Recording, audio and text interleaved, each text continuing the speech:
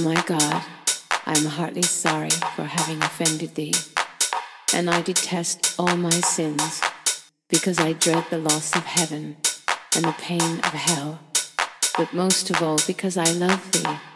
and I want so badly to be good.